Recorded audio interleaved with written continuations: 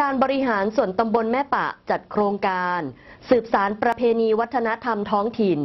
วันฮีตเก่าหอยเดิมคนเมืองแม่ปะ ประจำปี 2560 ค่ะ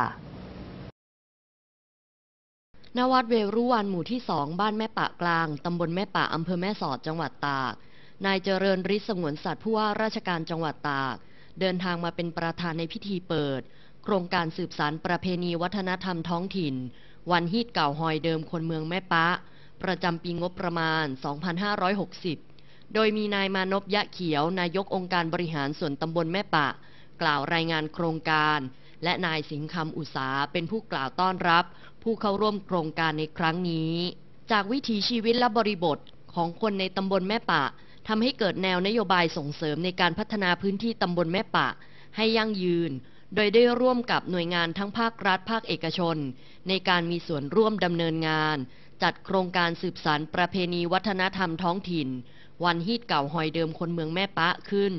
ซึ่งมีวัตถุประสงค์ เพื่อส่งเสริมให้ประชาชนทุกกลุ่มวัย ได้ตระหนักถึงคุณค่าความสำคัญ ร่วมสืบสารอนุรักษ์ประเพณีวัฒนธรรมท้องถิ่น สามารถถ่ายทอดภูมิปัญญาท้องถิ่น ให้คงอยู่ต่อไปได้ โดยกิจกรรมแบ่งออกเป็นสามข่วงคือ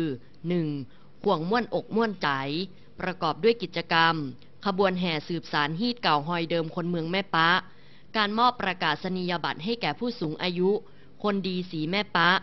การแสดงศิลปะวัฒนธรรมพื้นบ้าน การประกวดร้องเพลงฟังม่วน การประกวดคนงามเมืองแม่ปะสองแผ่นดิน 2. ห่วงของกินครัวเมืองประกอบด้วย กิจกรรมการสาธิตการประกอบอาหารพื้นเมืองโบราณของคนแม่ปะ ของดีตำบลแม่ปะทั้ง 11 หมู่บ้าน และ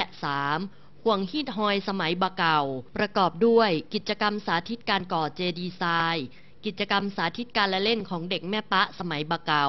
กิจกรรมการบรรเลงสล้อซอซึงสนอเสียง กิจกรรมเผยแพร่ภูมิปัญญาของคนแม่ปะโดยปราชชาวบ้าน โดยกิจกรรมในครั้งนี้ได้รับความสนใจจากผู้เข้าร่วมงานเป็นอย่างยิ่ง